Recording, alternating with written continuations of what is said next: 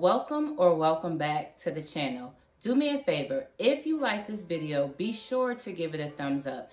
If you are not already subscribed, please consider subscribing. Now let's get into it. In today's video, we're going to briefly discuss New Age spirituality. Let's start off with the definition. New Age is a spiritual system of thoughts and practices composed of beliefs, values, and traditions from various schools and religions throughout the world. The New Age movement rapidly grew in the 1970s prior to the 1960s hippies movement. The goal of the New Age is to bring enlightenment, not to save your souls. There are several topics included within the movement they include Buddhism, Hinduism, mysticism, transcendentalism, Gnosticism, paganism, pantheism, occultism, esotericism, witchcraft, meditation, yoga, psychedelics, channeling, divination, sorcery, mind science, reincarnation, astral projection, ufology, and spiritual psychology. That was a long list. That sounds like mass confusion, and we know God is not the author of confusion. That is a melting pot of beliefs. No single book or teacher holds a monopoly on New Age spirituality. Christianity as has the Bible as our core set of beliefs and doctrines. To become a Christian, you must believe and accept Jesus Christ as your Lord and personal Savior. New Age has no official rule of faith and practices. New Age is self-centered. Christianity is Christ-centered. New Agers believe that they are sovereign over themselves. Christians believe that Christ is sovereign over all. The movement sells the falsehood that we are intrinsically good. We are not good apart from God. Scripture tells us that our goodness is as filthy rags. Only God is good all the time. Two great resources on the New Age movement are Doreen Virtue and Steven Bancarz. They are both ex-New Agers and they do a great job of exposing so much of this deception behind the movement. They are both now professing Christians. Steven Bancarz has a new book. The book is The Second Coming of the New Age. The subtitle is The Hidden Dangers of Alternative Spirituality in Contemporary America and its Churches. So many influential people buy into the notion of the New Age ideologies. Check out this clip and I'll be right back. Has been discussing the spirituality and the forces of God, but I also believe that there are two forces that are here with us that we do have our, our, our God that we can depend on, but there's also a power of darkness that we do need to be aware of. And, and that's you, where the choices Do you begin. believe that, that you can choose between one or the other? Most, most absolute, definitely. Yeah. Now, we are given that now. Marianne uh, Williamson says in her book Return to Love that we're always walking in the direction of one or the other. That all of your actions in life, either you're moving toward the darkness or you're moving toward the light. That's right. She calls it fear and love. There's this wonderful book called Ishmael by Daniel Quinn, which talks which which is anyway, it's a gorilla talking, but anyway, uh, it talks about one of the points it brings out is one of the mistakes that human beings make is believing that there is only one way to live That's and right. that we don't accept that there are diverse ways of being in the world that there are millions of ways to be a Then human how do being please and, God? and many ways no but many paths to what you call God That and is her path pleasing. might be something else and when she gets there she might call it the light but her loving and her kindness and her generosity brings her if it brings her to the same point that it brings you it doesn't matter whether she called it god along the way or not And I guess the danger that could be on that, I mean, it's, it sounds great on the onset, but if you really look at both sides, I there could couldn't possibly be just one way. What what about Jesus? What about Jesus? Brings them up in this whole discussion, and you say there isn't only one way.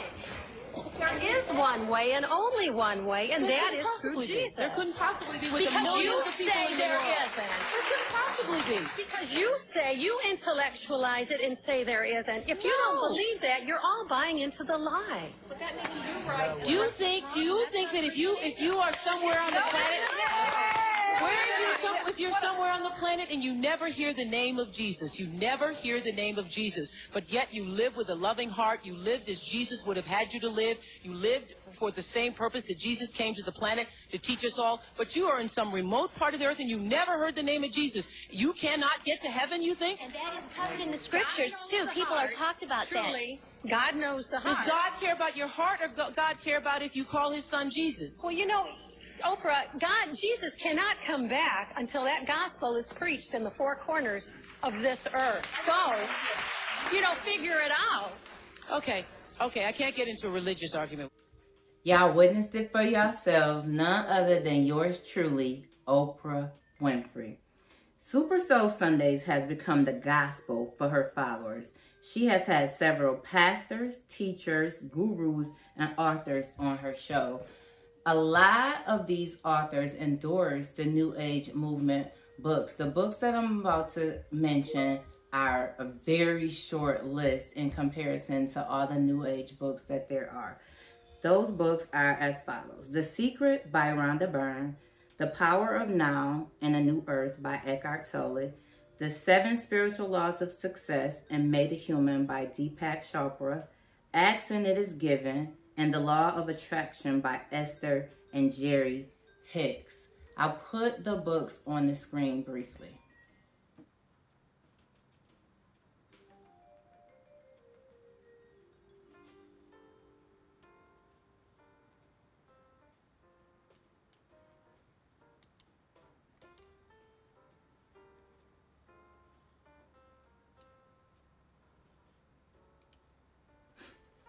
We must learn to be discerning. We must pray for discernment. We must learn to rake in the meat and spit out the bones.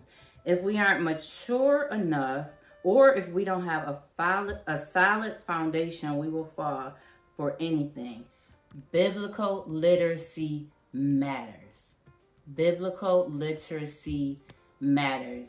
These people are very intelligent and able to defend what they believe. As Christians, we must learn to defend our faith and stand up for what we believe in, or else we'll begin to fall for anything.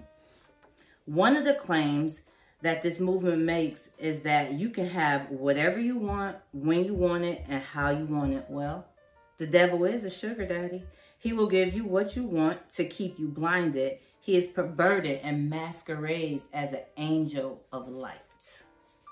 This generation is hyper focused on self. This thinking coincides with the New Age movement.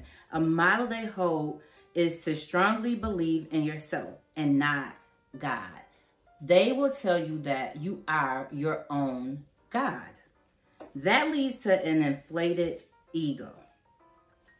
Witches and warlocks are out doing their jobs. We need to get on our job. We follow trends and culture without asking questions or doing research. We go with the flow instead of kicking against the rocks. If culture is burning sage, we burn sage. If culture is wearing crystals, we wear crystals and use crystals. If culture is following astrology and the stars, we follow right behind them. If they're doing yoga, we do yoga. We could be inviting the demonic realm into our space without even knowing it. I believe the movement has good intentions, but the road to hell is paved with good intentions. Check out this piece. Until next time, be blessed. This new age. This new age is the enemy stage. Are you one to want your ears to be tickled now to later burn? Lord, I pray that you would give us a spirit to discern. If your gospel doesn't preach and teach Christ crucified, consider yourself divorced when he comes back for his bride. If your gospel isn't absolute, don't feed the flock's half truths. The devil makes you believe lies have color. How absurd! And you believe it because your vision is increasingly blurred. The gospel shouldn't be accommodating or compromised to fit one's earthly pleasures. It shouldn't be just a mere portion of one's story. The gospel should be taught and preached to edify the body for God's glory. What we ignorantly conjure, speak, vision, and manifest, we expect God to bless. After we've done so by purposely taking his words out of context, we don't trust what we can't trace, but we intentionally misappropriate God's grace. God wants us to seek his face and not his hands. We're so afraid to humble ourselves, which is why we yet live on sick land. When will we quit taking advantage of grace? Sooner or later, we will lose footing in this fixed race. Beware of false prophets walking many on leashes down broad roads in stylish sheep's clothes at the expense of souls. How will you clean your spilled works? with filthy rags? When will you realize salvation is a free gift you never could afford if it had price tags? There just isn't enough sage, crystals, or oil blends for you or your atmosphere to be cleansed. Nothing outside of Christ's blood can atone for your sins. Will you turn and repent after all your sprinkled truths, mysticism, and philosophies are hell bent? Reciting a sinner's prayer can't save you. Repenting with the sinner's heart is what sets you apart. You often speak of energy. Do you not know the source comes from the one who spoke, saying, Let there be? God is not a God of confusion, which is why you're having altering mind delusion. You should not fuse what's sacred with that which is perverted and profane. Some cults and cliques have the guile to do so in Jesus' name. You can't serve two masters. When will you come to the feet of Jesus with your personal box of alabaster? Will you remain committed to your unbelief? This behavior has opened the door for the common thief. God is not transactional, He's relational. He's not a genie in a bottle for you to assume control like a throttle. I get it. Your trauma, loss, life disappointments, and even your church hurt have caused you to humanize the Creator as if He was the narrator. The choices you chose to satisfy your flesh will be the death of you. Now tell me, will you remain in full pursuit? You are not a little God, goddess, nor are you a sequel. You are an image bearer. You can never be God's equal. Listen, the fragrance of the gospel will be released. How it smells depends on if you have come to your senses. Will you remain in hiding behind metaphysical fences? I pray that you lay down your idols and carry your cross. I can't say your attractions are a sin, but your actions are. Many believe they were born a specific way, as if the Almighty makes mistakes. John has told you, as a beloved friend, that you must be born again. This new world order is out of kilter. I pray the veil is torn so you could see through a new filter. Elohim was resurrected, not resuscitated. After three days, the stones were rolled away. Have we become so progressed and evolved that we forgot sin is involved? And it has a volume, whether it's subtle or loud. You're in grave danger. You need a heart transplant that only the Holy Spirit can grant. All else will fail, has failed, and is failing. Will you walk off the new age stage and walk towards the true rock of ages?